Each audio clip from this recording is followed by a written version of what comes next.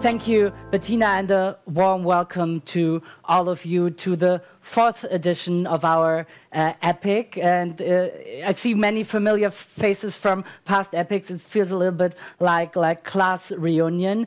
Um, my topic is the respective um, risk landscape 2024 and the upcoming challenges. And throughout the day, we will shed light on this and provide you and try to provide you with practical advice. And when I was uh, thinking about how to tackle this, I mean, it would have been easy to just give you my opinion, what I think as semi-thought leader, so to speak, what is uh, upcoming uh, the, the, the, next month and, and year. But I want to do it um, differently. So, and I will do it differently. Instead of me giving you um, expectations, what the future holds for us, I asked thought leaders in the privacy, information security, and compliance realm to give us their thoughts, what, what is up in, in, in store. And most of them have been participants in previous epics, so it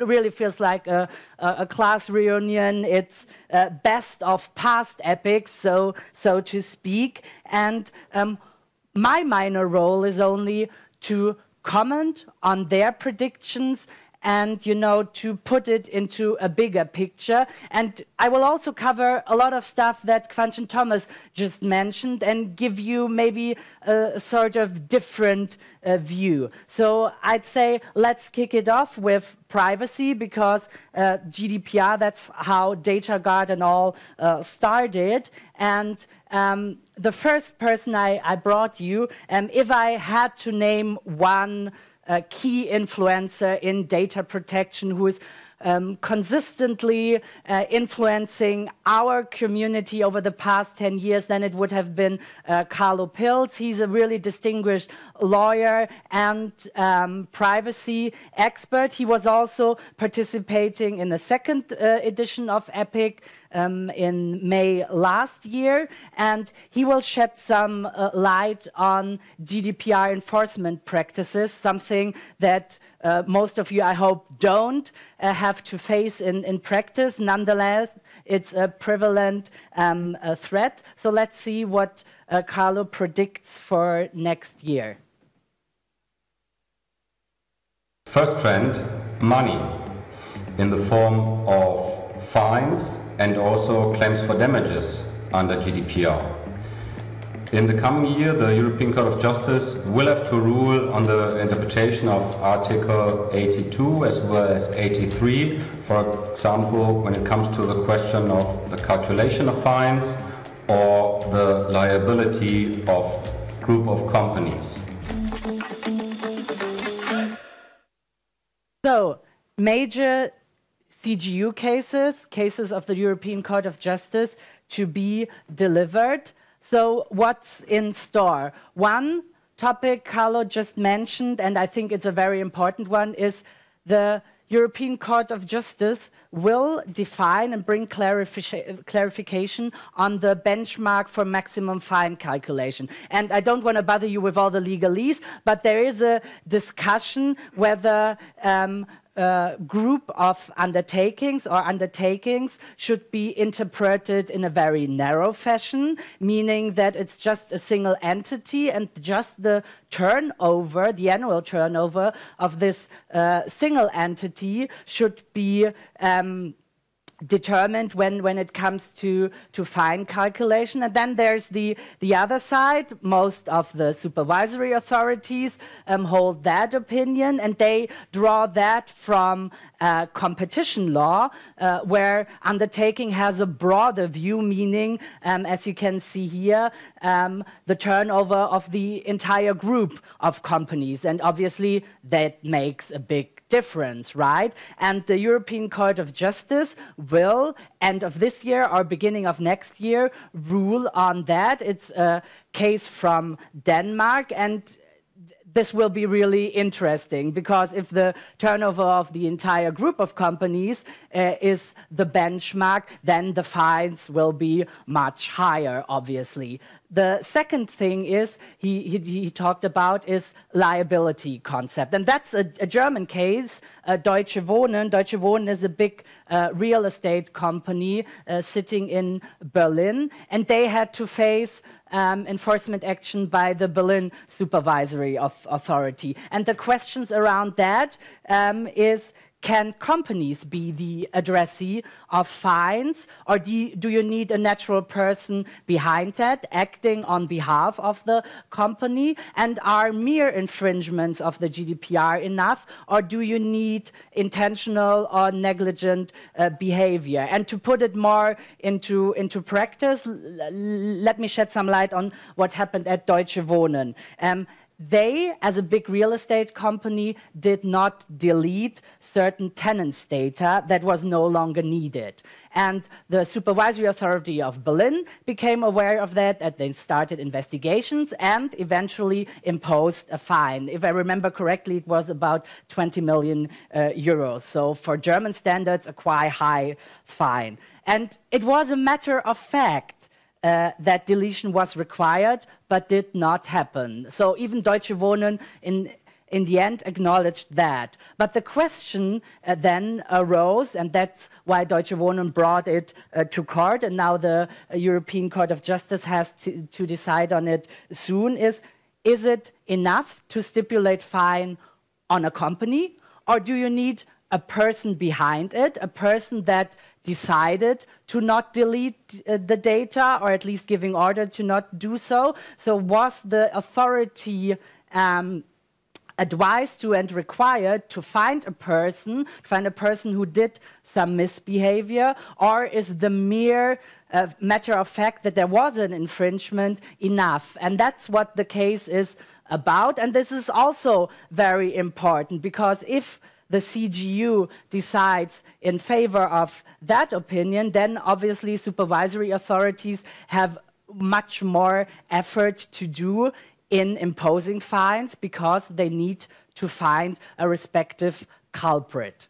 So that's the first thing we have in store for privacy. The next one is something Kvanchen Thomas already touched upon, and this is the EU digital strategy with all the European regulations for the data economy. And, of, and again, we have Carlo Piltz, but we have another prominent figure, a dear friend of DataGuard, I, I, I dare to, to say. It's uh, Dr. Stefan Brink. Some of you may know him because the, he's the former State Data Protection Commissioner of Baden-Württemberg. He resigned from office um, end of last year, founded a scientific um, institute, and now has a very close collaboration with us, with DataGuard. We hosted a lot of master classes where you could address questions to him, and he will also shed some light on the new European regulations. So let's see what.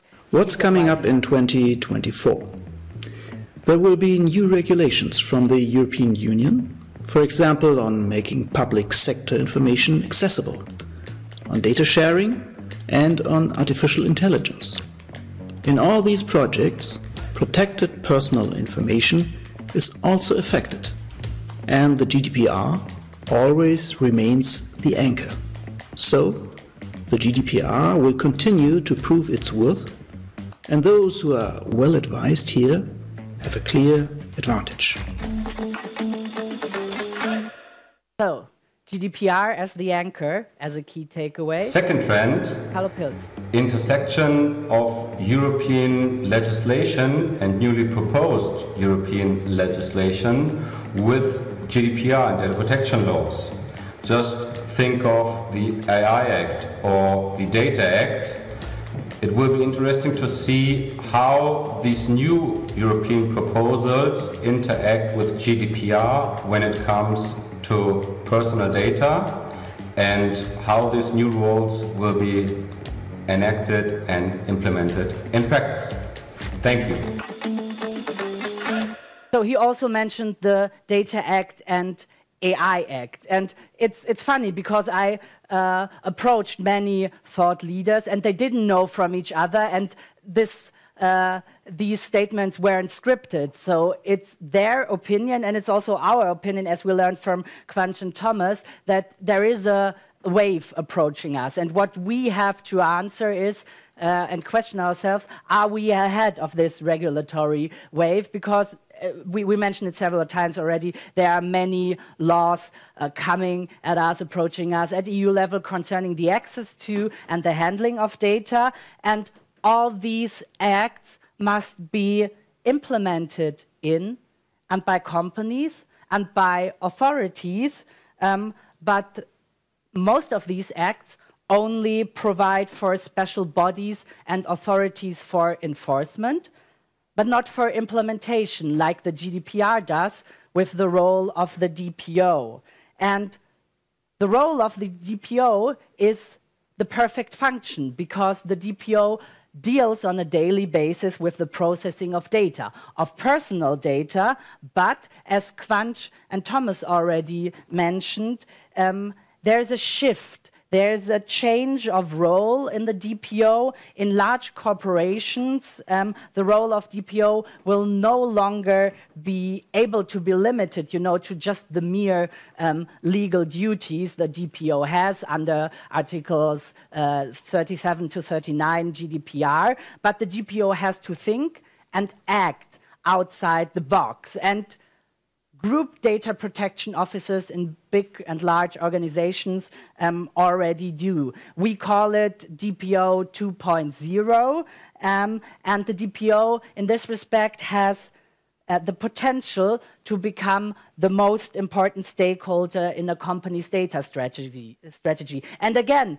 that's not only our opinion. You see here um, a quote from uh, Advocate General of the European Court of Justice. And three years ago, in a German case, Leistritz, which, which dealt about the role of data protection officer, he already exerted that the DPO is the key figure in the new data governance system. And how can this be tackled in practice? Let me give you two examples from big German um, players. First one is uh, Deutsche Post.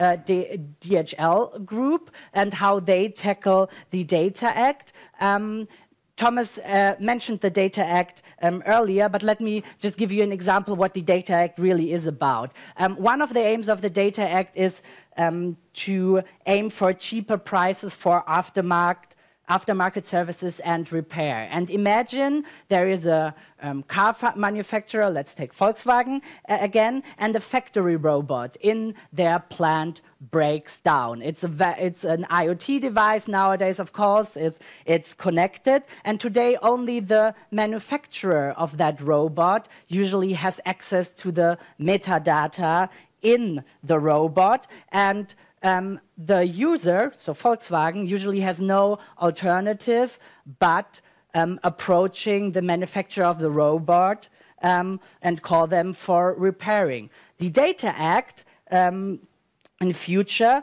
allows Volkswagen as the user to ask the manufacturer for access to the data and can approach a different repairing service that might be cheaper and faster? Um, and uh, how does the DPO come into play? Well, it's about access to data and data protection officers, many of you know it, there is the fundamental data subject right of access to data. So the DPO is already aware of that and can be one of the central dispute mediator when it comes to defense against claims. So if your uh, company is approached by external parties that data should be shared and given access to, or supporting you in enforcement of claims if you as a company want to have access to data. And this is why the data protection officer plays a key role in the Data Act. And this is how Gabriela Krader, she's the group data protection officer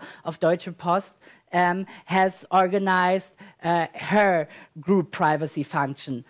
Another familiar face of, uh, for all of you who have participated in the last version of, of EPIC is Dr. Oliver uh, Draf. He gave the keynote um, uh, last year, and he's the Group Data Protection Officer, we have mentioned it several times already, of Volkswagen. But he's not only the Group Data Protection Officer, um, he's now also responsible for digital risks. And he's a very um, smart guy and has uplifted his, his role. Why? Um, Thomas already shed some light on it. Um, back in 2016 and 2018, um, there was a hype, and um, the role of the DPO had the board attention and all the resources. But what we now see, and we, you will hear uh, another um, keynote from Michael Will, he's the head of um, Data Protection Authority here in Bavaria, and he talked about it in previous conferences, what I would call the privacy fatigue. Because five, more than five years after the GDPR coming into force, what we see now in privacy is, in data protection, that there is no high priority anymore, less resources and less board attention. So what did the smart guy Oliver Draf do? Well, he ensured that he as a group data protection officer is also responsible for digital risks and digital risk incorporates one of the functions in his privacy department, the Data Act and the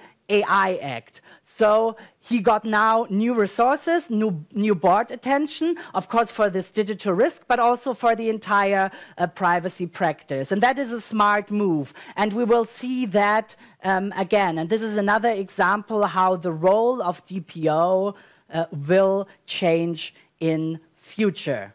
So enough about privacy. Let's head over to information security. Unfortunately, I have no video here, but a familiar face to, to you, Professor uh, Kipker. And he also uh, um, stated uh, to us that 2024 will be the cybersecurity year of the decade because of NIS2. And he also said, and I would strongly agree with it, that it will have comparable impact that the GDPR had on privacy. And Thomas and Kivanc already explained why, um, in particular in, in, in, terms of liability and the broad scope of applicability. But what I find most striking is the principle of effectiveness that will be introduced through NIS2 versus appropriateness that we see now. And um, at the moment, many companies just do, uh, as Thomas already mentioned, uh, measures and check the box exercises. Of course, the measures need to be appropriate, so you need to assess whether they um, are sufficient enough to cope with cybersecurity threats.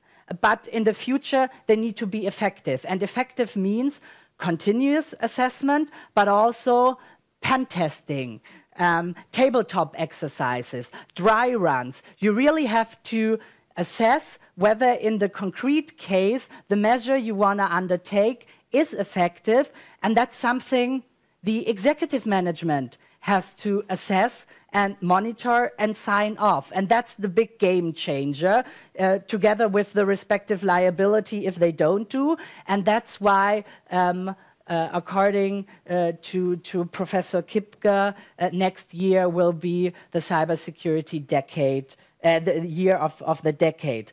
Um, another familiar face is Marnix Dekker, and Kivanc has already touched, uh, touched upon um, uh, this. So um, if you start with NIS2, obviously, have a certified um, ISMS because that will save you at least 70% of, of the job. So you don't have to reinvent uh, the wheel. You can recycle what you have and then uh, build, build on top. Um, we at DataGuard provide you with, with many resources in this respect. We have a 10-step plan uh, for you, uh, how, how to ass assess and what to do next. Um, I don't want to elaborate on all of this, but uh, just um, uh, step number four, and that's also something Thomas and Kivanc mentioned earlier, is budget. And Kivanc provided the figure of overall a budget, more than 1 billion uh, uh, euros as a one-off, and then uh, more than 1.5 billion annually.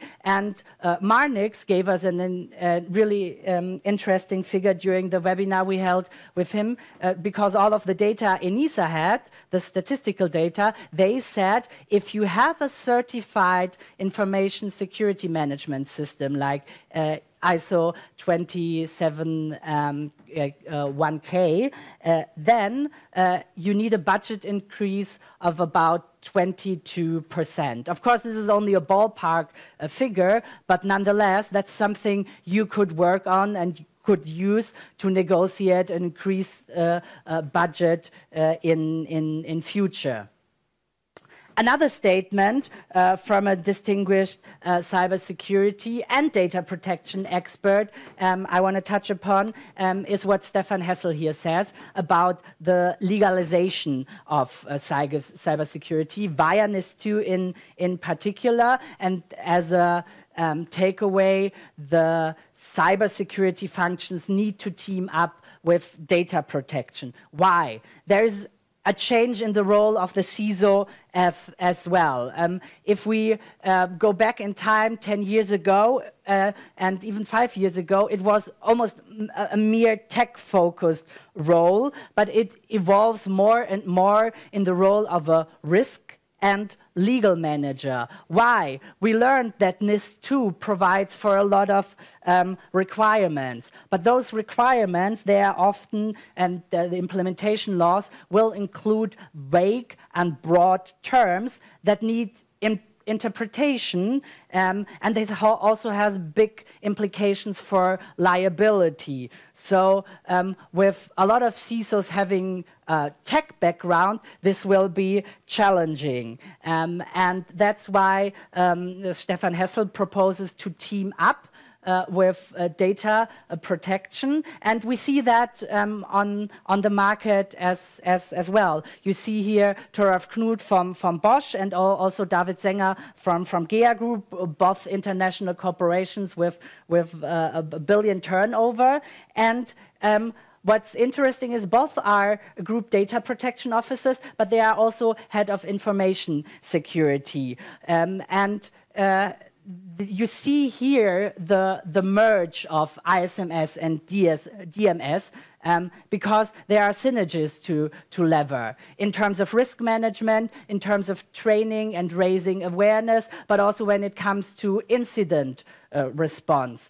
And those big corporations, they saw the synergies, they merged. Uh, of course, you, you would then maybe question, but what about the independency of the role of the DPO and also avoiding conflicts of interest? Well, those guys, they are responsible for the strategy and governance. Of course, there's a CISO in Bosch, uh, Bosch and there's a CISO in, in GEA, but they take over to implement the strategy and do um, the, the daily business. That has also, uh, to some extent, to do with this shortage of workforce that Thomas uh, touch, touched upon. And you really need uh, to lever those synergies. But you can see in the market it's already happening. What we are talking about here is not uh, something that we, we just have in our mind, but uh, the big companies are already implementing that, and maybe you take that as example for your organization. Last but not least, we have um, privacy, we have information security, and we have um, compliance. And the last statement is from my former boss before I joined DataGuard. He's a customer of ours, and he's also a distinguished um, previous EPIC speaker, Tobias Neufeld, and he will shed some lights on the upcoming trends um, in uh, HR compliance.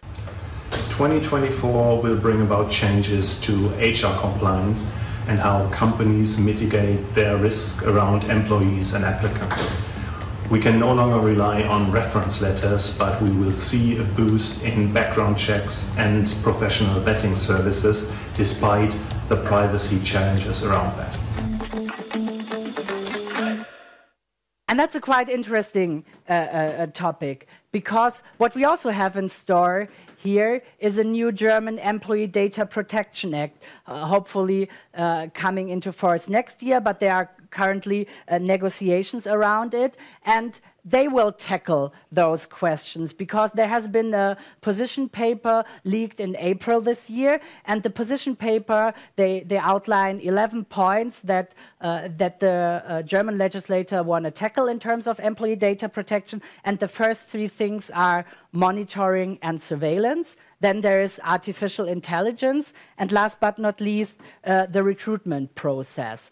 Um, and that will and needs to be uh, changed also because there is quite of urgency here in Germany because the European Court of Justice um, in March this year has ruled on a German um, German legislation on um, employee data protection, and he found that this is not in compliance with EU law. So the German legislator has to act. Um, he will act. There are currently ne negotiations going on, and it's to, uh, to, be expected that we will have a first uh, draft bill by the end of the, the, year. And we in DataGuard are highly involved uh, in that as well, because we engage in a lot of business associations, like the Bitkom, like the Bundesverband der Datenschutzbeauftragten, like the IAPP, and um, we are we, we, we try to stay, you know, ahead of the wave by giving our insights from from our 3,000 customers, but also um, be one of the very first people to know what's going to happen. And Dr. Brink, who I also uh, mentioned, he's one um, of the experts that the German um, legislator has appointed to support them um, with defining a, a proper uh, wording. And speaking of Dr. Brink, um, if you want to hear more about this topic, there will be um, an event hosted by us on the 23rd of, of November where we're tackling all um, employee data protection and what the, the upcoming bill has in store. So you're kindly in, invited to, to join us. And with having four minutes left and giving uh, you, you some, some ample time and having uh, catch up a little bit, um, uh, the, the final outlook. And uh, as again in, in my speech, it's not me giving you the final outlook, but uh, another person, and again, Dr. Uh, Stefan Brink. Um, so let's see what he has to say about um, what will happen uh, next year as a holistic reflection. What will happen in 2024? This is hard to say given the rapid pace of technological progress. But it is possible to predict what will not change the GDPR will remain the global model for good data protection. Those who are well positioned in terms of data protection need not fear the future and will still be ahead of the game in 2024. And I think that's a, a, nice closing remark. I mean, we talked about things that will change, but something that's here to stay is the GDPR. And if you have the GDPR and it will interact with all the upcoming acts, as Dr. Brink said, you are well positioned. And with uh, uh, having said that, I wish you a very, very exciting um, epic, a lot of good talks, good networking, good beer, and a lot of celebration afterwards at the Wiesn. Um, thank you for your attention.